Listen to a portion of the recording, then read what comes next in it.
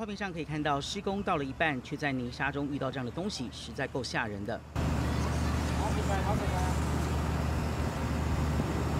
那没看错的，画面上这一坨巨大的物体，正是一只大蟒蛇。那么目测呢，至少超过五公尺以上，相当的巨大。工作人员呢是不敢大意，也不打算放过，因为这样大蟒蛇呢，只要不注意呢，碰触到任何生物都有可能被它给缠绕，相当的危险。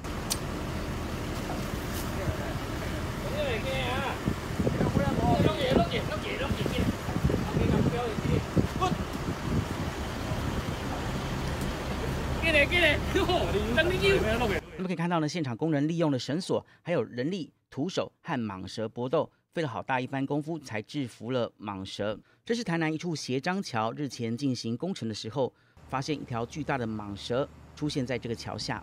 据了解，这个蟒蛇呢应该是外来野放的，目前呢已经将它交由相关单位来处理。